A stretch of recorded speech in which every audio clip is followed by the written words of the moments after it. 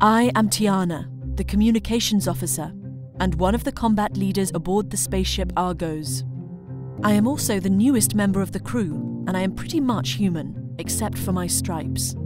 In one week, you will understand that, when Crucible, records of the Argos launches, my combat partner Sif was supposed to do this announcement, but he refused. He says it is below the dignity of an Archon Red of the warrior class. Anyway, we all want you to read our story. My stripes still change colour when I read it. Look for it next week when our AI speaks to you. Dr. Raymard wants me to remind you to humour our automated friend. It makes him easier to live with. Thanks.